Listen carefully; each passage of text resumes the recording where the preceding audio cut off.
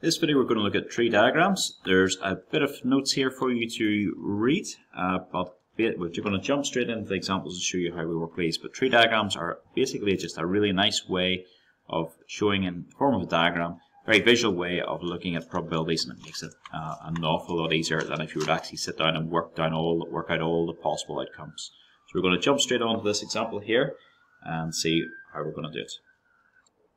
In this example, it says a box contains five red and three blue marbles. If three marbles are selected without replacement, find the probability of selecting at random. And the first part is three blue marbles, and then two blue marbles, and three is at least one blue marble. Okay, the first thing I'm going to have to do is draw our tree diagram. I'm going to pause the video, draw this half decent diagram, and then I will uh, start the video again and explain what I'm uh, doing. Okay, so we've got our, our tree diagram drawn. We still have to fill in probabilities, but this is my first pick. So if you can imagine this pair of branches here, this is my first pick. I could have randomly jumped in and grabbed either a red or a blue. And then this is my second pick, so I could have grabbed either a, a red, a blue, or red, or blue. So uh, along this branch so far, this is getting a red and then a red, so two reds. This is getting a red and then a blue. This is getting a blue and then a red. This is getting a blue and a blue. And this uh, set of six branches is going to be my third pick. So I could get uh, red, red, red, red, red, blue, red, blue, red, red, blue, blue, blue, red, red, blue, red, blue, blue, blue, red, blue, blue, blue. So we now have to work out the probabilities. So the first thing, uh, straight off out of the bag then, we have got five red, and we have eight, uh, eight in total. So it's the chances of getting a red at the start is five out of eight. Chances of getting a blue at the start is in 3 out of 8. Now always look, any pair of branches always adds up to 1. So that's a very, makes life very easy for you at times to work out the corresponding probability. So any pair of branches adds up to 1. Okay, if I've already picked out a red and that's not replaced, that means I am down one red, so I've only got four reds left, and also I'm down one overall, so it's four out of seven. And remember, and if every pair of branches add up, adds up to 1, so that is going to be 3 out of 7. So 4 out of 7 plus 3 out of 7 adds up to 7 out of 7, which is 1. Or, if you don't like that, that's a, that is a quicker way of doing it, what I've just said. But if you don't like that, if you think, I've pulled out in my first pull uh, pick, I picked out a red. So I was down one red, but I still have the same number of blues. So I still have my three blues, but my total has gone down by one. So you can do it that way if you want, but it's a wee bit slower. Okay, we'll do this next branch. If I pull out uh, a blue at the start, then I have got still got the same amount of uh, reds left, so I've still got my five reds, but my total has gone down by one, so it's five out of seven. My blues then, I've only got two blues left, and out of seven. Okay, and here, the top one on the right hand side, I've taken already taken out another red, so I'm down to three reds left out of six. And here is a one time I'll be saying not to cancel down. It makes it easier if you don't cancel down here. And again, that's three out of six. And if we just run through the rest of these, so you know how we're doing these, I'm just going to fill them in and you can uh, fill them in yourself.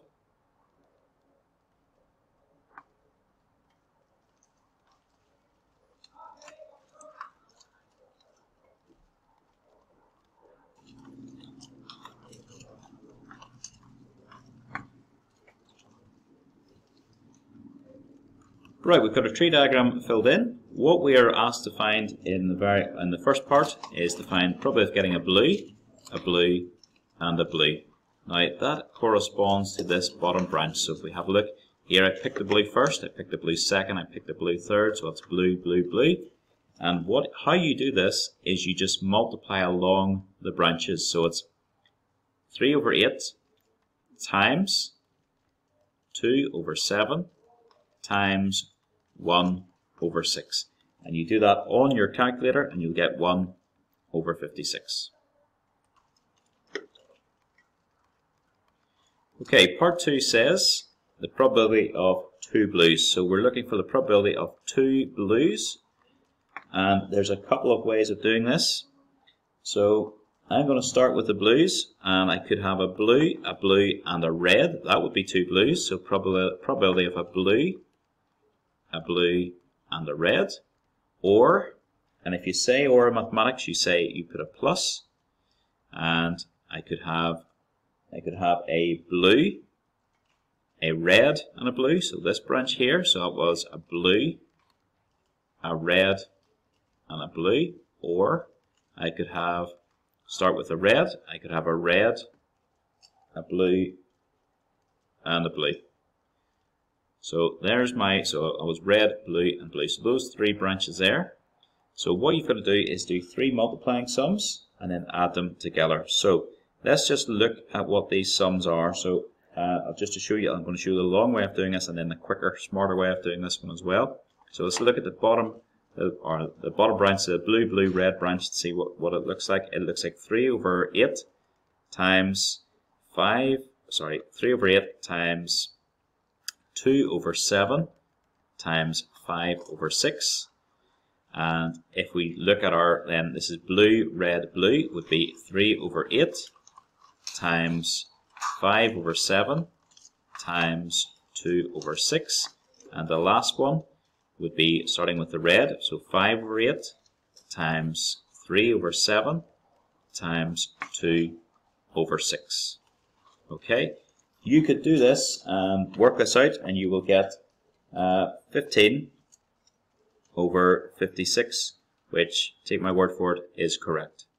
But let's have a look at these sums that we've got. So the first sum was 3 over 8 times 2 over 7 times 5 over 6. Let's just concentrate the numbers on the numerator, the top line. You've got 3 times 2 times 5.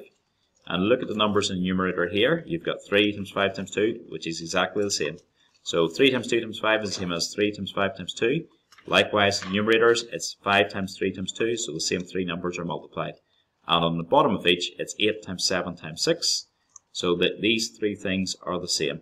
So we could, the smarter way of doing it, there's nothing wrong with what I've done, but the smarter way of doing it is just to pick one of those probabilities.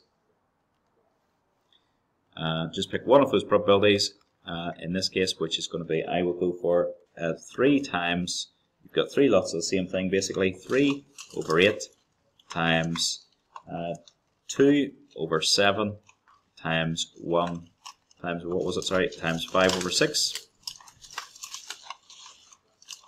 and then if you work that out again you will get 15 over 56.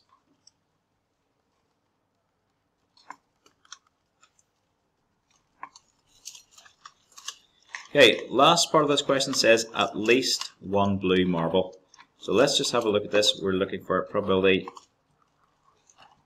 at least one blue. Now at least one blue, uh, it means I could have one blue, I could have two blues, I could have three blues. So I can have anything, anything except no blues. So it really is 1 minus the probability of no blues.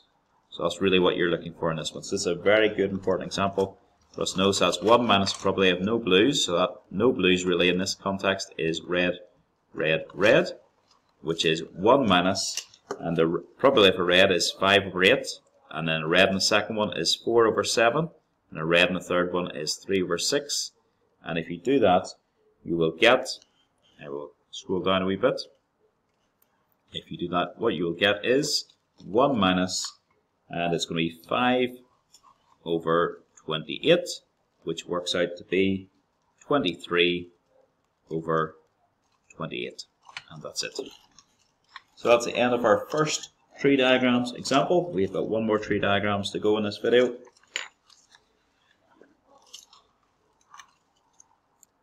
This example says the probability it rains in Belfast is 0.65. If it rains, the probability of Phil exercising is 0.3. Otherwise, it is uh, 0.82. Find the probability that it rains and Phil exercises or just Phil exercises. So our tree diagram here, uh, it either rains and the probability of it raining is 0.65 or it doesn't rain. So how you say doesn't rain or not rain is the R with the wee line across the top and it rains, probably it rains is uh, 0.65 so I'm going to just say that it's going to be 0.35 for not raining, because remember, pair of branches always add up, probability always add up to 1. And then Phil either exercises or he doesn't exercise, and he exercises or he doesn't exercise. So the probability uh, of Phil exercising, if it rains, the probability of Phil exercising is 0.3. So he's only going to exercise 0.3. Then that means he probably he won't exercise is 0.7. And otherwise, if it doesn't rain, then the probability of him exercising is 0.82, which means this one has to be uh, 0.18. We have got our tree diagram done. We're now ready to go. Uh, it says find the probability that it rains and Phil exercises. So rains and he exercises. So that is just this branch. So you're just multiplying it along. So it's just going to be 0.65 times 0.3. And you do that on your calculator and I've got 0.195 for part 2 it finds it says find the probability that Phil exercises. So uh, he Phil exercises. There's two ways you can get to Phil exercising. It could rain and he exercises,